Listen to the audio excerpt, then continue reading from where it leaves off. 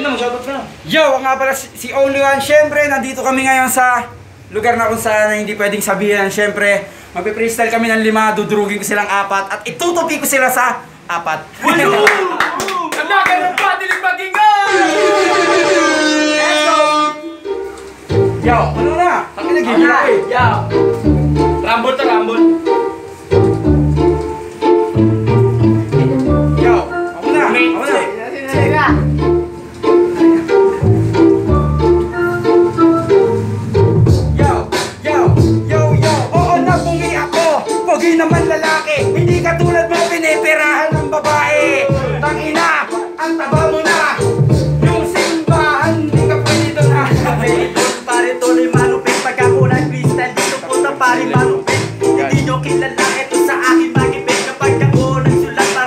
Everybody. like